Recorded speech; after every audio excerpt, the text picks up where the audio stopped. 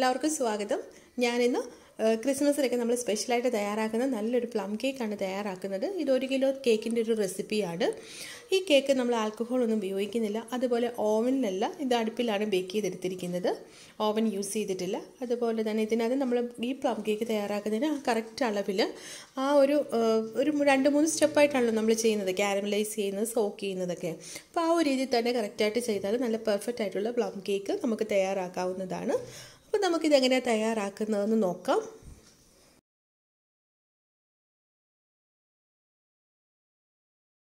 Plum cake തയ്യാറാക്കാൻ വേണ്ട ingredients എന്ന് പറയുന്നത് അതിലേക്കുള്ള ഡ്രൈ ഫ്രൂട്ട്സ് കാൽ കപ്പ് നട്ട്സ് കാൽ കപ്പ് ഡേറ്റ്സ് കാൽ കപ്പ് റേസിയൻസ് കാൽ കപ്പ് ട്യൂട്ടി ഫ്രൂട്ടി കാൽ കപ്പ് ഉണക്ക മുന്തിരി കാൽ കപ്പ് ചെറി രണ്ട് ടേബിൾ സ്പൂൺ ഓറഞ്ചിന്റെ തൊലി വിളയിച്ചത്. ബാക്കിയെല്ലാം കാൽ കപ്പാണ് ഇനിയും ഉണക്ക മുന്തിരി വൈറ്റ് റേസിയൻസ് ബ്ലാക്ക് റേസിയൻസ് അതുപോലെ ഡേറ്റ്സ് നട്ട്സ് ഒക്കെ ചെറുതായി പീസായി കട്ട് ചെയ്തിടണം. ഇനി ഇതിലേക്ക് ഒരു കപ്പ് നല്ല ഫ്രഷ് മുന്തിരി ജ്യൂസ് ഒട്ടും വെള്ളം ചേർക്കാത്തത് അര കപ്പ് പഞ്ചസാര. നമ്മൾ ഈ മുന്തിരി ജ്യൂസിലാണ് ഈ ഡ്രൈ ഫ്രൂട്ട്സ് സോക്ക് ചെയ്യുന്നത്. ഇപ്പം നമ്മൾ എടുത്ത് വെച്ചിരിക്കുന്ന ഒരു കപ്പ് മുന്തിരിയുടെ ജ്യൂസ് ഉണ്ട്. അതിലേക്ക് അര കപ്പ് പഞ്ചസാര ചേർത്ത് നന്നായിട്ട് മിക്സ് ചെയ്യുക. അതായത് പഞ്ചസാര കംപ്ലീറ്റ് ആയിട്ട് ജ്യൂസിലേക്ക് അലിഞ്ഞ് ചേരണം. ഒട്ടും തന്നെ വെള്ളമയം ചേരാതെ എടുത്ത ജ്യൂസാണ് അത് പ്രത്യേകം ഒന്ന് നോക്കണം. വെള്ളം ഒട്ടും വരാൻ പാടില്ല. അപ്പം നമ്മൾ ആ പച്ചസാര ചേർത്ത് അലിയിച്ച് വെച്ച ജ്യൂസിലേക്ക് നട്ട്സ് ഒഴിച്ച് ബാക്കിയുള്ള ബാക്കിയുള്ള എല്ലാ ഡ്രൈ ഫ്രൂട്ട്സും കൂടി ചേർത്ത് കൊടുക്കുകയാണ്. ഡേറ്റ്സ് ഉണക്കമുന്തിരി റേസിയൻസ് ചെറിയ ട്യൂട്ടി ഫ്രൂട്ടി അതുപോലെ തന്നെ ഓറഞ്ചിന്റെ തൊലി വിളയിച്ചത് എല്ലാം കൂടി ചേർത്ത് കൊടുത്തു. നട്ട്സ് ഇപ്പം ചേർക്കരുത്. എന്നിട്ട് നന്നായിട്ടൊന്ന് മിക്സ് ചെയ്യുക.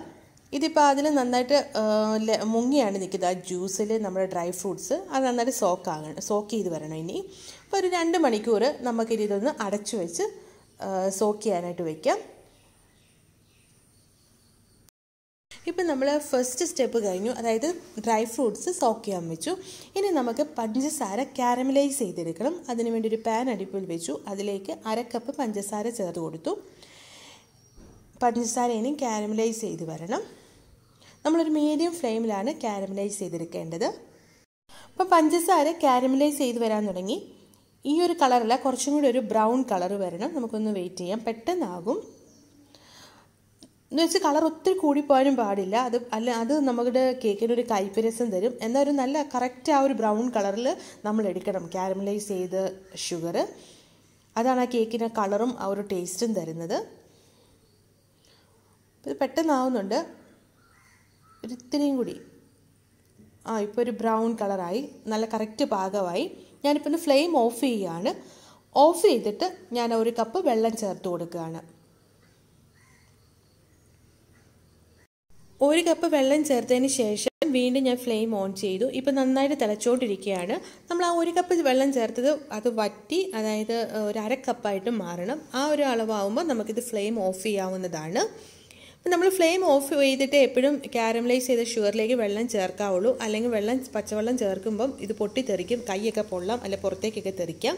അതുകൊണ്ടാണ് ഫ്ലെയിം ഓഫ് ചെയ്തിട്ട് വെള്ളം ചേർത്തതിന് ശേഷം വീണ്ടും ഫ്ലെയിം ഓൺ ചെയ്യുന്നത്. അപ്പോൾ ഇതൊന്ന് വറ്റി വന്നോട്ടെ. അരക്കപ്പാകുമ്പോൾ നമുക്ക് ഓഫ് ചെയ്തെടുക്കാം. അതിന് ശേഷം തടുക്കാൻ വേണ്ടി ഒന്ന് വെയിറ്റ് ചെയ്യാം. ഈ സമയത്ത് നമുക്ക് ബാക്കി കാര്യങ്ങൾ ചെയ്യാം. നമ്മൾ ഇതിലേക്ക് വേണ്ട സ്പൈസസ് എന്ന് പറയുന്നത് അഞ്ച് ഗ്രാമ്പു അഞ്ച് ഏലക്കായ അതേപോലെ തന്നെ അര ടീസ്പൂൺ കറുവാപ്പട്ടയുടെ പൊടി അര ടീസ്പൂൺ ജാതിക്കയുടെ പൊടി. ഇനി ഈ ജാതിക്ക ഒന്ന് പൊടിച്ചെടുക്കാൻ വേണ്ടി എളുപ്പത്തിൽ ഞാൻ ആ ജാതിക്ക ഒരു ഒന്ന് ഗ്രേറ്റ് ചെയ്തെടുക്കുകയാണ്. അപ്പം നന്നായിട്ട് തന്നെ പൊടിഞ്ഞ് വരും. നല്ല ഈ ഒരു ഗ്രേ ഗ്രേറ്റർ കൂടി ഗ്രേറ്റ് ചെയ്യുമ്പോൾ ശരിക്കും പറഞ്ഞാൽ ഏകദേശം ഒരു പകുതി ജാതിക്കാൻ ജാതിക്ക വേണം നമുക്ക് ഈ ഒരു അര ടീസ്പൂൺ അളവെന്ന് പറയുന്നത്. ജാതിക്ക ഗ്രേറ്റ് ചെയ്ത് കഴിഞ്ഞപ്പോൾ ഏകദേശം അര അര ടീസ്പൂൺ മാറ്റി വെച്ചു. അതായത് പകുതി ജാതിക്ക ഗ്രേറ്റ് ചെയ്തെടുത്തു. ഇനി അതുപോലെ തന്നെ കറുവാപ്പട്ട ഞാൻ ഇന്ന് ഗ്രേറ്റ് ചെയ്തെടുക്കുകയാണ്. എന്റെ ഇരിക്കുന്ന കറുവാപ്പട്ട നല്ല കട്ടിയുള്ള തൊലിയാണ്. അതുകൊണ്ട് നമുക്കിങ്ങനെ ഗ്രേറ്റ് ചെയ്യുമ്പോൾ നല്ല പൊടിയായിട്ട് തന്നെ വീഴുന്നുണ്ട്. അതും അര ടീസ്പൂണാണ് വേണ്ടത്. നിങ്ങളുടെ പൊടി ഉണ്ടെങ്കിൽ അത് ചേർത്താൽ മതി അളന്ന് ചേർത്താൽ മതി. എന്റെ പൊടിയായിട്ട് ഇല്ലാത്തതുകൊണ്ടാണ് ഞാനിങ്ങനെ എടുത്ത് ചേർക്കുന്നത്. ഇനി മിക്സിയിൽ ഒരു ചെറിയ ജാറിലേക്ക് എടുത്തു വെച്ചിരിക്കുന്ന അഞ്ച് ഗ്രാമ്പു അഞ്ച് ഏലക്ക അതിന്റെ തൊലി നീക്കിയ ശേഷം കുരുവാണ് ചേർത്ത് കൊടുക്കേണ്ടത്. ഇത് നമുക്ക് നന്നായിട്ടൊന്ന് പൊടിച്ചെടുക്കണം. അപ്പം ജാ മറ്റേ ജാതിക്കായും കറുവാപ്പട്ടയൊക്കെ ഇങ്ങനെ ഗ്രേറ്റ് ചെയ്ത് വെച്ചിരിക്കുന്നുണ്ട് പൊടിച്ചെടുക്കാൻ എളുപ്പമാണ്. അപ്പോൾ ഇത് നമുക്ക് പഞ്ചസാര കുറച്ച് പഞ്ചസാര ചേർത്ത് വേണം പൊടിക്കാനായിട്ട്. ഇനി നമുക്ക് വേണ്ടത് മുക്കാൽ കപ്പ് പഞ്ചസാരയാണ്. അതിലൊരു കുറച്ച് പഞ്ചസാര ചേർത്ത് നിന്ന് പൊടിച്ചെടുക്കാം. മിക്സിയിൽ പൊടിച്ചെടുത്ത ഗ്രാമ്പു ഏലക്ക പഞ്ചസാര ആ പൊടിയിലേക്ക് നമ്മൾ ഗ്രേറ്റ് ചെയ്ത് വെച്ചിരിക്കുന്ന ജാതിക്കയും കറുവാപ്പട്ടയും കൂടി ചേർത്ത് പൊടിച്ചെടുക്കാം. ഇനി അടുത്തായി നമുക്ക് ഒന്നര കപ്പ് മൈദ ആണ് ഈ കേക്കിലേക്ക് വേണ്ടത്. ഒന്നര കപ്പ് മൈദയും അര ടീസ്പൂൺ ബേക്കിംഗ് സോഡയും ഒരു ടീസ്പൂൺ ബേക്കിംഗ് പൗഡർ ഒരു കാൽ ടീസ്പൂൺ ഉപ്പുപൊടി. ഇതും കൂടി ചേർത്ത് നമുക്ക് നന്നായിട്ട് ഇതൊന്ന് അരിച്ചെടുക്കാം.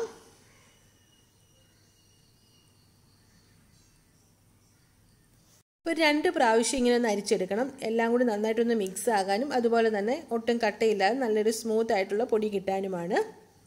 ഇപ്പോൾ രണ്ട് മണിക്കൂർ കഴിഞ്ഞു. ഇപ്പോൾ നമ്മൾ ആ സോക്ക് ചെയ്യാൻ വെച്ചിരിക്കുന്ന ഡ്രൈ ഫ്രൂട്ട്സ് നമുക്കിതൊരു അരിപ്പേ കൂടി അരിച്ചെടുക്കാം.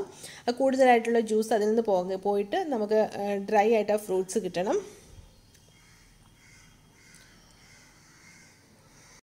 അരിപ്പയിൽ കൂടി അരിച്ചെടുത്തപ്പം കംപ്ലീറ്റ് ആയിട്ട് ആ ജ്യൂസ് പോവുകയില്ല. അപ്പോൾ കൈ കൊണ്ട് ചെറുതായിട്ടൊന്ന് പിഴിഞ്ഞതിന് ശേഷമാണ് ആ ഡ്രൈ ഫ്രൂട്ട്സ് ഞാനൊരു പ്ലേറ്റിലേക്ക് നിരത്തിയത്. അതോടൊപ്പം നമ്മൾ ആദ്യം മാറ്റി വെച്ചിരുന്ന നട്ട്സും കൂടി ചേർത്ത് കൊടുത്തു. ഇതോടൊപ്പം ഒരു രണ്ട് ടേബിൾ സ്പൂൺ മൈദയും കൂടി ചേർത്ത് എല്ലാം കൂടി നന്നായിട്ടൊന്ന് മിക്സ് ചെയ്യുകയാണ്.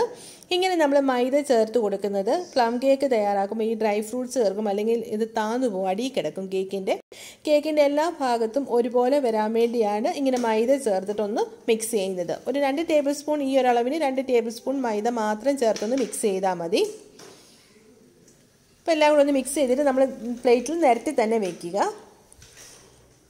ഇനി ഈ കേക്കിലേക്ക് ചേർക്കുന്നത് ഒരു നൂറ്റമ്പത് ഗ്രാം ബട്ടർ മൂന്ന് മുട്ട ഒരു ടീസ്പൂൺ വാനില എസൻസ് അര teaspoon pineapple essence pineapple essence ചേർക്കുന്ന ഒരു പ്രത്യേക ടേസ്റ്റാണ് അപ്പം നമ്മുടെ റൂം ടെമ്പറേച്ചറിലുള്ള ബട്ടർ ഒരു ഉണങ്ങി നന്നായിട്ട് ഉണങ്ങിയ ഒരു പാത്രത്തിലേക്കാണ് ഇട്ട് കൊടുത്ത് നന്നായിട്ട് ഇത് ബീറ്റ് ചെയ്തെടുക്കാം. അതോടൊപ്പം നമ്മൾ ആദ്യം പൊടിച്ചു വെച്ചിരിക്കുന്ന മുക്കാൽ കപ്പ് പഞ്ചസാര ഉണ്ടല്ലോ അതായത് നമ്മുടെ സ്പൈസസ് ഗ്രാമ്പു ഏലക്ക പട്ട ജാതിക്ക ഇട്ട് ചേർത്ത് പൊടിച്ചു വെച്ചിരിക്കുന്ന പഞ്ചസാരയും കൂടി ചേർത്താണ് ഈ ബട്ടർ നന്നായിട്ട് ബീറ്റ് ചെയ്തെടുക്കേണ്ടത്. അത് കുറേശ്ശായിട്ട് ചേർത്ത് കൊടുത്ത് പഞ്ചസാര ചേർത്ത് കൊടുത്ത് ബീറ്റ് ചെയ്തെടുക്കാം.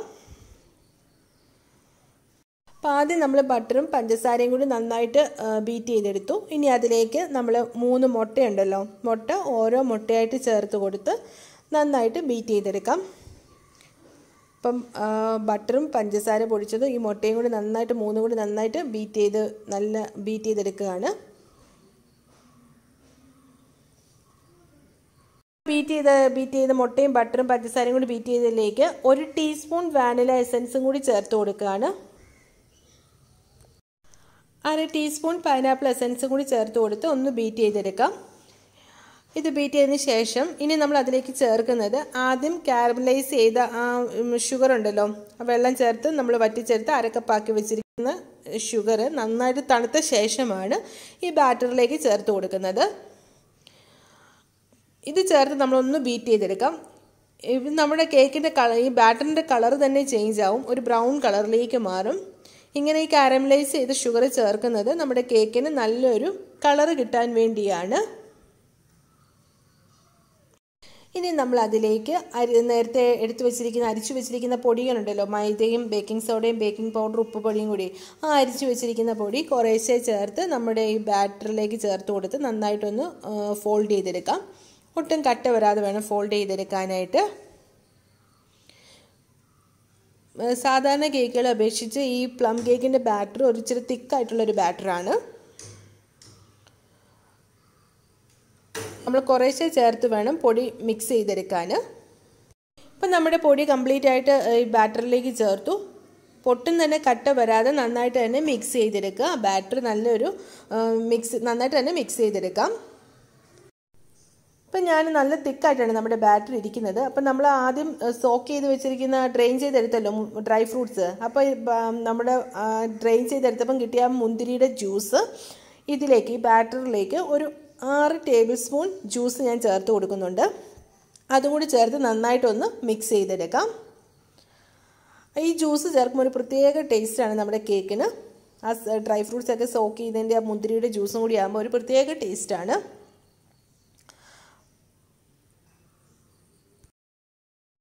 ഇനി നമ്മുടെ ബാറ്ററിലേക്ക് നേരത്തെ നമ്മൾ മൈദ വെച്ച് സ്പ്രെഡ് ചെയ്ത് വെച്ചിരുന്ന ഡ്രൈ ഫ്രൂട്ട്സും കൂടി ചേർത്ത് നമുക്ക് നന്നായിട്ടൊന്ന് മിക്സ് ചെയ്തെടുക്കാം. ശരിക്കും പറഞ്ഞാൽ ഈ ഒരു പ്ലം കേക്ക് വളരെ ടേസ്റ്റി ആയിട്ടുള്ള നല്ല റിച്ച് ആയിട്ടുള്ള ഒരു കേക്കാണ്. ഇതിനകത്ത് ബട്ടറൊക്കെയാണ് ചേർത്തിരിക്കുന്നത്. അതുപോലെ തന്നെ ഇത്രയും ഡ്രൈ ഫ്രൂട്ട്സും പിന്നെ നമ്മളൊരു കൂടുതൽ ടേസ്റ്റിന് മുന്തിരിയുടെ ജ്യൂസും ഇതിലേക്ക് ചേർത്തിട്ടുണ്ട്. ആ സോക്ക് ചെയ്ത ബാക്കിയൊരു ആറ് ടേബിൾ സ്പൂൺ മുന്തിരി ജ്യൂസും കൂടിയൊക്കെ ചേർക്കുമ്പോൾ ഒരു പ്രത്യേക ടേസ്റ്റും ഒരു കറക്റ്റ് ഇതാണ്. പിന്നെ ഇതിലേക്കുള്ള സ്പൈസസ് ഒക്കെ കൃത്യമായിരിക്കണം. പിന്നെ കാരമലൈസ് ചെയ്ത ആ ഷുഗറിന്റെ ആ ഒരു കളറൊക്കെ കൃത്യമായാൽ മതി. നമുക്ക് നല്ല സൂപ്പറായിട്ടുള്ള പ്ലം കേക്ക് തയ്യാറാക്കാവുന്നതാണ്. ഇപ്പം നന്നായിട്ട് തന്നെ നമ്മുടെ കേക്ക് മിക്സ് റെഡിയായി ഇപ്പം നമ്മൾ കേക്ക് ബേക്ക് ചെയ്യാനുള്ള ടീന് ഞാൻ അതിൽ ബട്ടർ ഒന്ന് സ്പ്രെഡ് ചെയ്ത ശേഷം ബട്ടർ പേപ്പർ സൈഡിലും അടിയിലും ഇട്ട് കൊടുത്തിട്ടുണ്ട്. അതിനുശേഷം നമ്മുടെ കേക്കിന്റെ ബാറ്റർ അതിലേക്ക് ഒഴിച്ചു കൊടുക്കുകയാണ്. നമ്മളൊരു സ്പാറ്റുല വെച്ച് ഇതൊന്ന് ലെവൽ ചെയ്ത ശേഷം നമുക്കിതൊന്ന് ടാപ്പ് ചെയ്തെടുക്കാം. ടിന്ന്. ഇത് ഒരു കിലോയുടെ കേക്കാണ് ഈ ഒരു അളവെന്ന് പറയുന്നത് നമ്മൾ തയ്യാറാക്കി വരുമ്പോൾ ഒരു കിലോയാണ് ഈ ഒരു പ്ലം കേക്കിന്റെ വെയിറ്റ് എന്ന് പറയുന്നത്. ഇപ്പം ഞാനിത് അടുപ്പത്ത് വെച്ചാണ് കേക്ക് തയ്യാറാക്കുന്നത്. അപ്പോൾ ഞാനൊരു പാത്രം അടുപ്പിൽ വെച്ചു. അതിലേക്ക് റിങ് ഇട്ടിട്ടുണ്ട്. നന്നായിട്ട് ചൂടായത് ഇത് ഹൈ ഫ്ലെയിമിൽ ഒരു അഞ്ച് മിനിറ്റ് വെച്ച ശേഷം മീഡിയം ഫ്ലെയിമിലാണ് നമ്മളിപ്പം വെച്ചിരിക്കുന്നത്. അതായത് പ്രീഹീറ്റ് ചെയ്ത പാത്രമാണ്. അതിലേക്ക് നമ്മുടെ കേക്കിന്റെ ടിൻ ഇറക്കി വെച്ചു. ഇനി ഇത് അടച്ചു വെച്ച് ഒരു ഒന്നേകാൽ മണിക്കൂർ വേണം ഈ കേക്ക് ബേക്കായി വരാൻ അപ്പോൾ ഈ ഒരു കേക്ക് കറക്റ്റായിട്ട് ബേക്ക് ചെയ്യുന്നതിന് നമുക്ക് അടുപ്പത്ത് ഒന്നേകാൽ മണിക്കൂർ സമയം വേണ്ടി വന്നു ഗ്യാസിൽ നമ്മൾ ഓവനിലാണെങ്കിൽ നിങ്ങൾ ഓവനിലാണ് തയ്യാറാക്കുന്നതെങ്കിൽ വൺ എയ്റ്റി ഡിഗ്രിയിൽ ഏകദേശം ഒരു മണിക്കൂറിന് മേളിൽ തന്നെ സമയം എടുക്കും നമ്മൾ ഇടയ്ക്കൊന്ന് ചെക്ക് ചെയ്താൽ മതി. ഒരു മണിക്കൂർ കഴിയുമ്പോൾ ഒന്ന് ചെക്ക് ചെയ്യുക. ഇതിപ്പോൾ ഓവൻ ഇല്ലാത്തവർക്ക് വേണ്ടിയാണ് നമ്മൾ അടുപ്പത്ത് തന്നെ ചെയ്തത്. അപ്പം നന്നായി നല്ല പെർഫെക്റ്റ് ആയിട്ടാണ് കേക്ക് റെഡിയായി കിട്ടിയിരിക്കുന്നത്. നല്ല കളറും നല്ലൊരു പ്രത്യേക സ്മെല്ലാണ് പ്ലം കേക്കിന് ഒരു സ്മെല്ലുണ്ടല്ലോ ഒരു പ്രത്യേക സ്മെല്ല് അതുകൊണ്ട് തന്നെ നമ്മുടെ ഒന്നിന്റെയും ഗ്രാമ്പൂ പട്ട ഇതിന്റെ ഒന്ന് സ്പൈസസ് കൂടുതലൊന്നും അല്ല കറക്റ്റായിട്ടാണ് ഈ ഒരു അളവ്. ആ മുന്തിരി ജ്യൂസും ഒക്കെ ചേർത്ത് വരുമ്പോൾ ഒരു പ്രത്യേക ടേസ്റ്റാണ് നല്ലൊരു സ്മെല്ലാണ് നിങ്ങൾ തീർച്ചയായും ഇതൊന്ന് ട്രൈ ചെയ്ത് നോക്കുക. എല്ലാവരും ക്രിസ്മസിന് പ്ലം കേക്ക് തയ്യാറാക്കുമല്ലോ അപ്പോൾ ഈ ഒരു റെസിപ്പി നിങ്ങളൊന്ന് ട്രൈ ചെയ്ത് നോക്കുക. എല്ലാവർക്കും ഇഷ്ടമാകും. ഇഷ്ടമായാൽ ലൈക്ക് ചെയ്യാൻ മറക്കല്ലേ? ഫ്രണ്ട്സിനൊക്കെ ഒന്ന് ഷെയർ ചെയ്ത് കൊടുക്കാൻ മറക്കരുത്. അതുപോലെ സബ്സ്ക്രൈബ് ചെയ്യാൻ മറന്നുപോയിട്ടുള്ളവർ ഒന്ന് സബ്സ്ക്രൈബ് ചെയ്ത് സപ്പോർട്ട് ചെയ്യണേ. വീണ്ടും പുതിയൊരു വീഡിയോയുമായി കാണാം. അതുവരെ എല്ലാവർക്കും ബായ്